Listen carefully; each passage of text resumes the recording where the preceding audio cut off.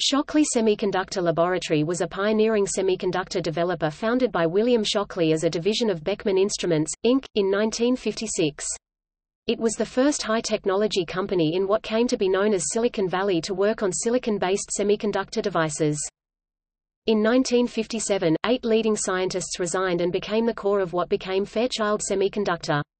Shockley Semiconductor never recovered from this departure, and was purchased by Cleveite in 1960, then sold to ITT in 1968, and shortly after, officially closed. The building remained, but was repurposed as a retail store. By 2015 plans were made to demolish the site to develop a new building complex. By 2017 the site was redeveloped with new signage marking it as the real birthplace of Silicon Valley.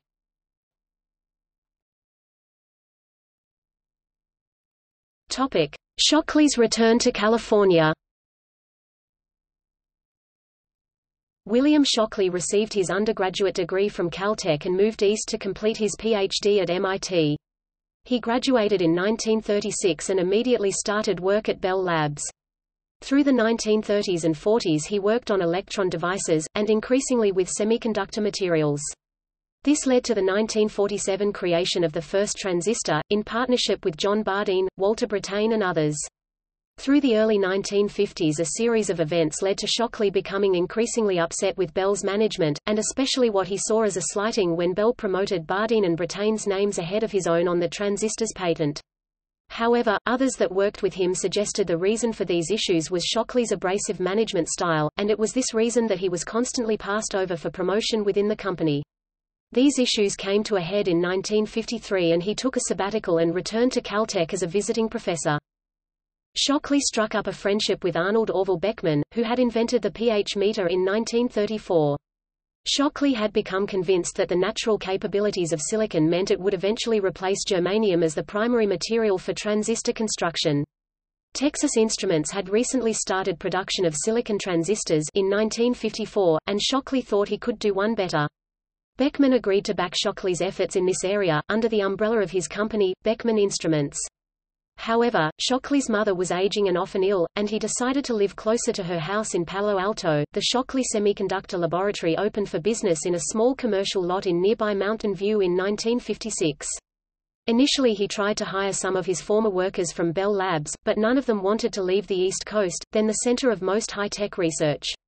Instead, he assembled a team of young scientists and engineers and set about designing a new type of crystal growth system that could produce single crystal silicon boules, at that time a difficult prospect given silicon's high melting point.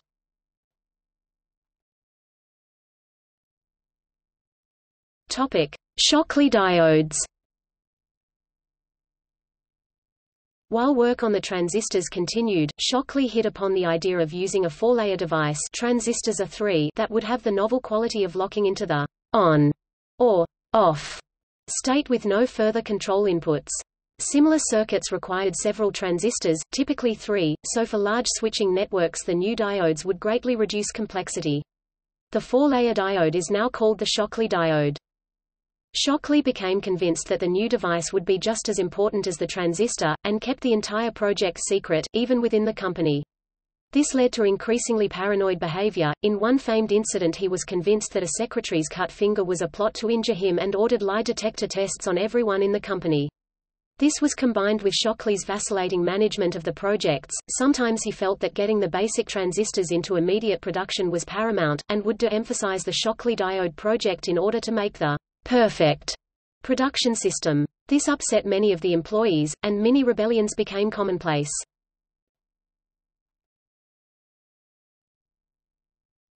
Topic: Traitorous Eight.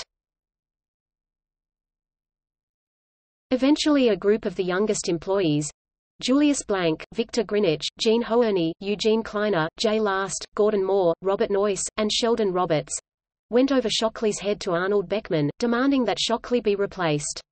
Beckman initially appeared to agree with their demands, but over time made a series of decisions that supported Shockley. Fed up, the group broke ranks and sought support from Fairchild Camera and Instrument, an eastern U.S. company with considerable military contracts.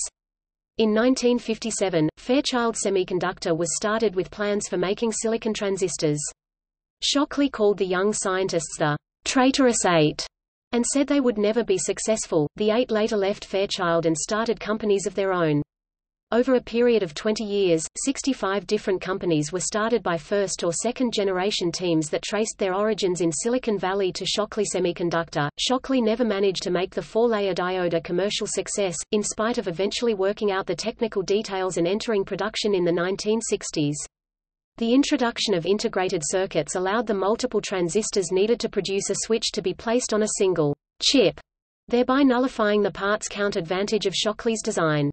However, the company did have a number of other successful projects, including the first strong theoretical study of solar cells, developing the seminal Shockley Queisser limit that places an upper limit of 30% efficiency on basic silicon solar cells.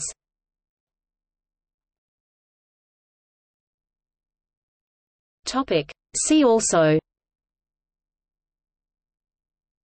Thyristor, a concept first proposed by William Shockley